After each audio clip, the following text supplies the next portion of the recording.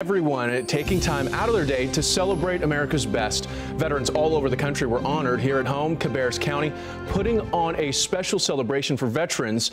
Members of the community came out, such as Junior ROTC, Honor Guard members, the ladies of the auxiliary, and many others paid tribute to local veterans with a presentation of colors and a wreath presentation.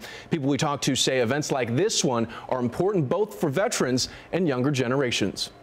So a day like today, our young men and women see what it means to step forward and be a part of something bigger than yourself, to be a part of this country.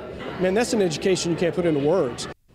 Many businesses in our area also offering discounts and freebies to our military men and women today.